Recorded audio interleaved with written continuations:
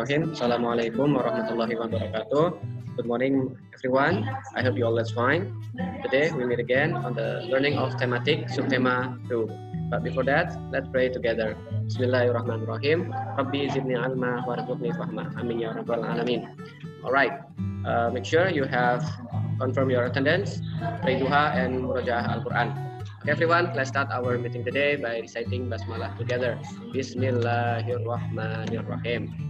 Well, today we are going to learn about animals. Oke, okay.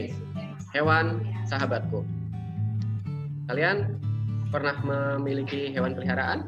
Ya, mungkin di antara kalian ada yang mempunyai hewan kucing, ikan, burung, ayam, atau yang lainnya.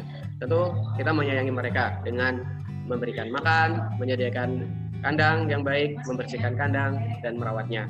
Nah, kita harus menganggap mereka sebagai sahabat kita. Tahukah kalian ada banyak sekali hewan di dunia ini? Nah, misalnya ada hewan badak. Badak merupakan contoh hewan endemik Indonesia.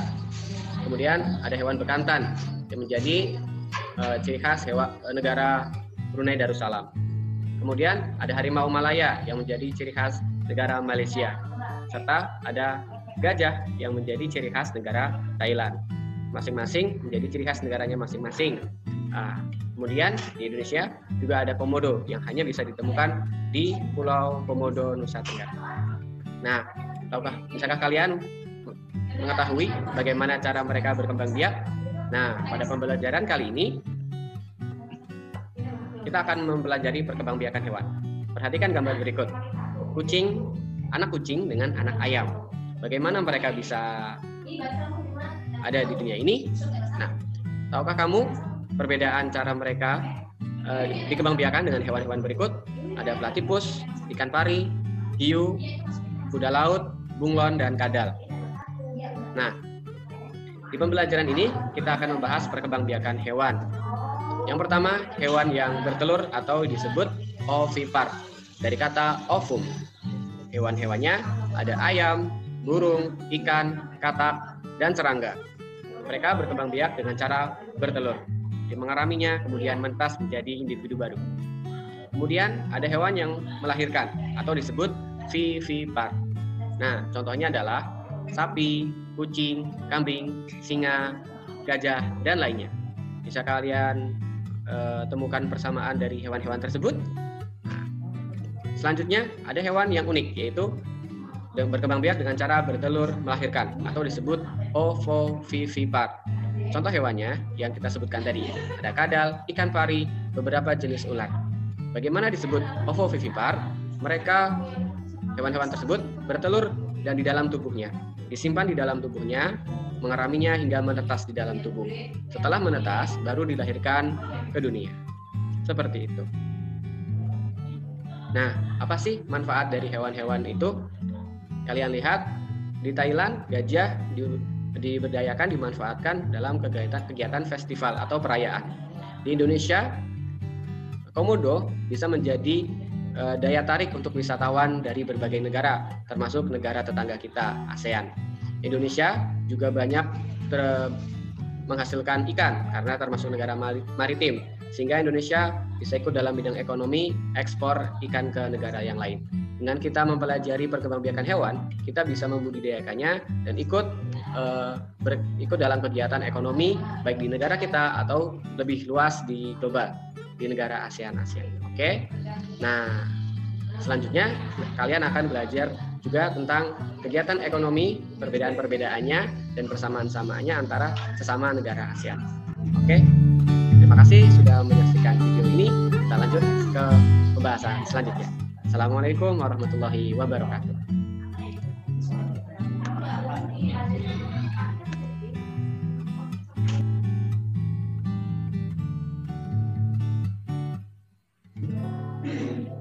Baik, Assalamualaikum warahmatullahi wabarakatuh. Kembali lagi bersama kami pembelajaran tematik kelas 6. Sekarang Walid akan menjelaskan seputar kegiatan ekonomi negara ASEAN di mana kita tahu bahwasanya tiap anggota ASEAN pasti memiliki kegiatan ekonomi ya. Di mana kegiatan ekonomi tersebut bisa bisa sama kegiatannya atau bisa juga ada yang berbeda ya. Nah, kalian nanti bisa membaca informasi-informasi seputar kegiatan ekonomi negara ASEAN di buku kalian halaman 86 hingga 88. Silahkan sambil dibuka bukunya disimak baik-baik ya. Nah, dari situ nanti kita akan bisa melihat apa persamaan karakter dari kegiatan ekonomi negara ASEAN tadi dan juga mungkin perbedaan karakternya apa dari kegiatan ekonomi negara ASEAN tersebut. Nah, contoh di sini Pauline akan membandingkan ya, dua negara ASEAN yaitu Malaysia dan Thailand. Nah ini ya gambarnya ada benderanya bendera Malaysia dan bendera Thailand. Kita coba membandingkan kegiatan ekonomi dua negara ASEAN, ya, Malaysia dan Thailand. Setelah kita membaca seputar kegiatan ekonomi di kedua negara tersebut, kita bisa menyimpulkan apa persamaan dari kegiatan dua negara tersebut. Di sini kalau bisa ambil kesimpulan yang pertama untuk persamaannya ya. Sebagian besar penduduk bertani. Jadi baik Malaysia maupun Thailand sebagian besar penduduknya bertani ya. Agraris, mata pencariannya sebagai petani. Yang kedua ya tentu karena ini dua negara yang berbeda masing-masing memiliki mata uang yang eh, sendiri ya. Malaysia mata uangnya ringgit, Malaysia dan Thailand mata uangnya adalah baht ya. Kemudian sama-sama menghasilkan bahan tambang ya dan dua-duanya menghasilkan barang tambang utama yaitu timah. Nah, baik Malaysia maupun eh, Thailand menghasilkan tambang utamanya itu timah. Kemudian juga kita bisa melihat perbedaan di antara kedua uh, negara tersebut. Ya, perbedaannya bisa kita simpulkan di sini di antaranya ya, Malaysia dikenal sebagai penghasil utama karet di dunia, ya, sedangkan Thailand sebagai lumbung padi di Asia Tenggara. Ya, Kemudian yang berikutnya, Thailand sangat mengandalkan pariwisata sebagai penghasil devisa, sedangkan Malaysia dari hasil tambang dan pertanian. Nah ini contoh bagaimana kita membandingkan dua negara, bagaimana kegiatan ekonominya berlangsung ya. Jadi di sini coba ambil contoh Malaysia dan uh, Thailand. Kalian nanti bisa uh, mengambil contoh beberapa negara lain, misalkan Malaysia dengan negara Filipina atau yang lainnya. Silakan kalian bisa mencoba terlebih terlebih dahulu kalian bisa membacanya dulu ya informasi tersebut di buku kalian yaitu sekali lagi kalau anjurkan kalian untuk membaca bukunya di halaman 86 hingga 88 demikian yang dapat kalian sampaikan silakan untuk mencoba membandingkan beberapa negara di Asia Tenggara terima kasih assalamualaikum warahmatullahi wabarakatuh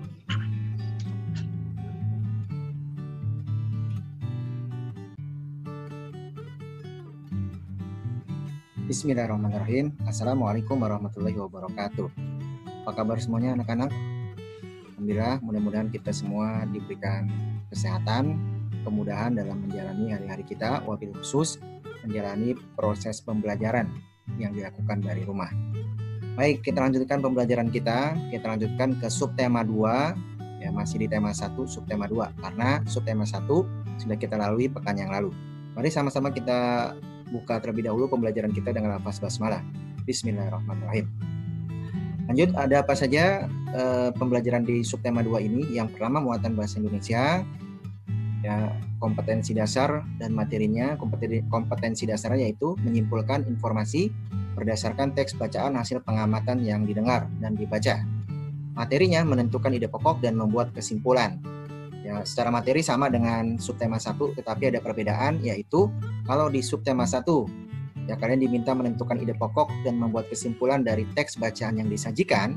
Nah, di subtema 2 ini kalian diminta menentukan ide pokok dan membuat kesimpulan dari teks bacaan yang dibacakan. Lanjutkan.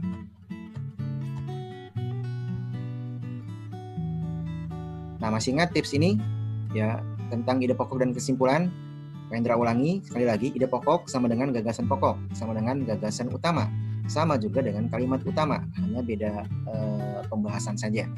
Nah, ide pokok itu 90% untuk soal tingkat SD, ya termasuk soal ujian e, kakak kelas kalian yang lalu-lalu, itu selalu ditempatkan di kalimat pertama. Ya, jadi kalau mau mudahnya tipsnya uh, ide pokok untuk soal tingkat SD ada di kalimat pertama.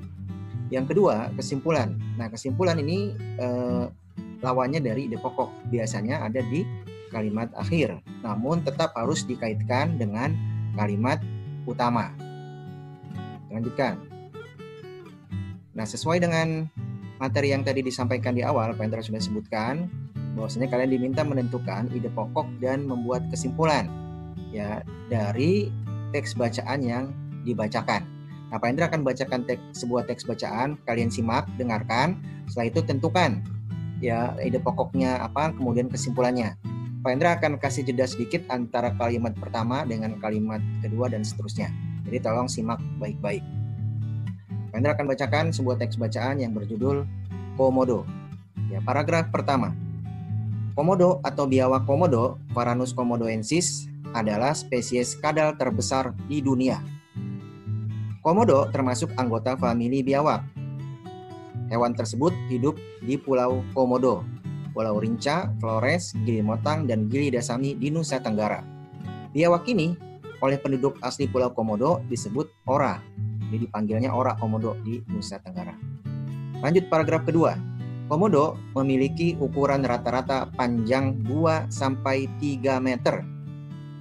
Ukuran besar hewan tersebut berhubungan dengan gejala gigantisme pulau Gejala gigantisme pulau adalah kecenderungan hewan-hewan tertentu menjadi raksasa yang hidup di pulau kecil. Keadaan ini terkait dengan tidak adanya mamalia karnivora di pulau tempat hidup komodo dan laju metabolisme komodo kecil. Karena besar tubuhnya komodo menduduki posisi predator puncak yang mendominasi ekosistem tempatnya hidup. Lanjut paragraf ketiga, habitat komodo di alam bebas telah menyusut akibat aktivitas manusia oleh karena itu, ini internasional untuk konservasi alam memasukkan komodo sebagai spesies yang rentan terhadap kepunahan. Biawak besar ini kini dilindungi di bawah peraturan pemerintah Indonesia dan sebuah taman nasional, yaitu Taman Nasional Komodo. Taman Nasional Komodo didirikan untuk melindungi mereka.